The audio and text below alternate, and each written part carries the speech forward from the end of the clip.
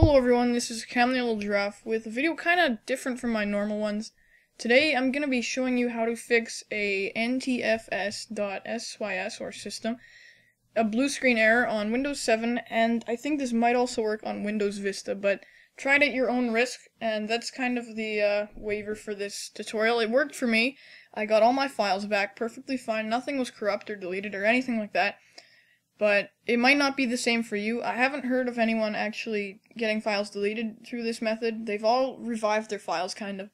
But there might be a slim chance that they may delete some of your files, so do this, proceed at your own risk. So, the program you're going to need today for this to work is Linux. And that's kind of a program, kind of an operating system. It's a part, I mean, sorry, Linux Knoppix. So, it's Linux Knoppix, or Knoppix Linux, whatever you want to call it but it's Knoppix and you're going to need that for this tutorial. And that's basically how we're going to fix this error. So hopefully you have another extra computer around. That's always a good idea to have is an old computer that you don't often use, but it's a good thing to have just a backup in case your main one dies. That's what happened to me and I had a backup computer, so I was quite lucky in this kind of situation. And what you want to do is download Linux. I mean, sorry, Knoppix. There will be a link in the description for Knoppix, and you can download it right there. It's an ISO. And I guess I forgot to mention that in the backup computer you are going to need a DVD burner. So you're going to have to burn the Knoppix image to a DVD. I didn't try it to on a USB stick, but the DVD it's easier to kind of work with. So that's what I recommend doing is getting Knoppix. The link will be in the description. Sorry about that. And putting it on a DVD on your old computer, burning it to a DVD. It's an ISO image, so it'll work fine. And then once you've done that, hopefully you know how to maneuver around the BIOS in your computer. Um, basically, to get in the BIOS, the BIOS, let's say you have an MSI motherboard, that's what I use. Um, when you start up your computer, it shows the MSI screen and military technology, or whatever it says. And when I do that, when that happens, you press, for me, it's F1 or delete. I don't know which one. I think that both work, but I just like using both of them. So you click away onto that, and then it'll take you into the BIOS if you get it right. If unfortunately it doesn't load the BIOS and it just goes to the Windows boot screen, you will have to turn off your computer and try it again, the F1 or delete, or look in your motherboard manual for the buttons to get you into the BIOS. So once you're in the BIOS, you want to maneuver to the boot settings or the boot priority, they call it online. And in there you'll probably see the first boot priority is your hard drive, unless you boot from something else like a USB stick or a portable hard drive or the network even, or even a CD. So as the first boot option is your hard drive, Windows 7 isn't working on your computer, so it won't boot. It'll just give you a blue screen if you have this ntfs.system error.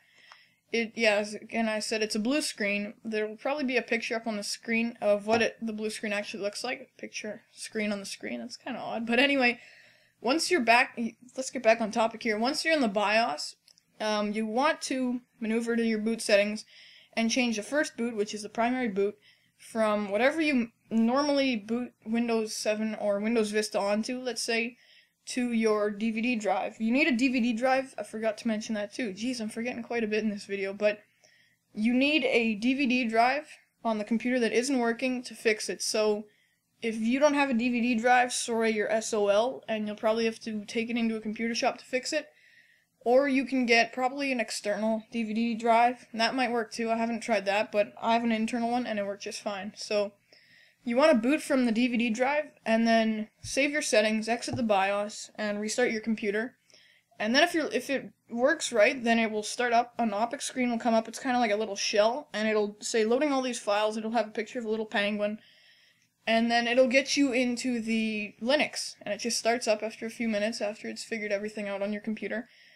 And then I believe, like, you have to get into the shell to fix this error. And, but to get into the shell, there's, I think it's like a Linux shell or something that's already built into Knoppix, but you don't want to go there. You have to go to the, this is kind of confusing, I'm sorry. There'll be, like, I'm following a tutorial right now, and I will link you this tutorial if it doesn't make sense. If you want it in text, that'll probably be an easier way to do it. So there'll be a link in the description for this tutorial. So you want to go into your shell, I believe to get into that, you'll be on the uh, the Knoppix main screen and you want to press escape. And once you're in there, it'll be a black screen, kind of like a command prompt in Windows 7 or any Windows actually. And then once you're in there, you want to type SU and press enter. So that makes that takes you to the root of your computer's hard drive. So then you can start fixing these files and then once it once you've typed SU and pressed enter, you want to type CFDISK. So CF disk. And then it will sh it'll show you your partitions on your hard drive. And um, then it'll also show you the file type. And you want to have a piece of paper and a pencil or a pen or whatever and you want to write down all the partitions that have an NTFS file type beside them. So in this tutorial it says an example is HDA1 and HDA5 or something like that. I think mine was SDA if I'm not mistaken. Yeah, it was SDA. So it might the letters might be different for you. It doesn't really matter, but just write those letters down. And then the next step is you want to exit this CF disk. So I think I believe you just type escape or something like that, and it'll just it'll bring you back to the command prompt out of that CF disk area. And then to type the next thing to start fixing the error on your computer, the corrupt error, you type ntfs fix slash dev slash hda1 or whatever your partition is called that has the ntfs file type. And then you press enter. For me, it gave me an error. I was like, what the heck is going on? And I just did the other one and I said, you know, screw this, I'll take it to a shop if it doesn't work. I restarted my computer and booted it from Windows and it worked. So if it gives you an error, for my case at least, that was okay. It still fixed it. But if it gives you an error, don't really worry about that. And type in all your partitions like that. There'll be don't worry, there'll be the codes in the description if you missed that too. So this is kind of a video and description tutorial. And so the codes will be in the description. If you you have to type them in in the shell again for it to kind of fix the corrupt files. And then it gave gave me an error at least. It might not give you an error. It'll say it might be successful. I don't know what it'd say, but it will work uh, if you do all these steps right. And then you exit out of Knoppix, or you can just hold, turn your computer off by the power button, whatever. And then you can start your Windows again by going back into the BIOS and changing the boot priority back to the hard drive from the DVD drive for the first priority. And then you'll save your settings, exit the BIOS, restart your computer, and hopefully Windows will boot up and it'll be kind of a black screen. It'll start checking all your files and fixing the errors that Knoppix couldn't fix. And if you're lucky, then Windows will boot, Windows 7, Windows Vista, and it will be fine. But here, uh, there's a word of warning here if you go into Knoppix and just the documents in Knoppix, it will read from your hard drive and you can see all your files there.